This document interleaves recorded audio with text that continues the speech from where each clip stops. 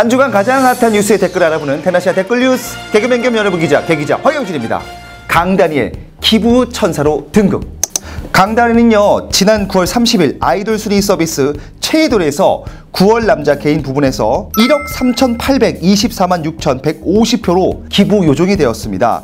강다니엘은요 기부 천사 18회, 기부 요정 21회, 총 39회 기부로 누적 기부 금액이 1억 9,500만 원을 달성했습니다. 여기에 수많은 댓글이 달렸습니다. 강다니엘 개인으로 누적 기부 금액이 1억인 거 정말 대단하다. 기부 요정, 기부 천사 쭉 가자. 지금까지 기부를 가장 많이 한 아이돌 강다니엘. 팬들의 투표로 좋은 곳에 기부할 수 있는 이런 시스템 너무 좋아요. 강다니엘 기부는 벌써 1억을 넘었다니 앞으로 쭉 응원할게요. 강다니엘 기부 요정 축하해. 항상 다니티가 응원할게요. 다니티의 호프 강다니엘 기부요정 기부천사는 언제나 강다니엘 강다니엘 이름으로 매달 기부할 수 있어 참 좋다 기부요정 축하해 매달 열심히 투표할게 이렇게 댓글이 달렸습니다 여기에 극소수의 댓글도 달렸습니다 팬들 기부 너무 좋네요 이제 스타도 다 기부하세요 전 재산 기부하세요라고 아이디 주윤발님께서 달아주셨습니다.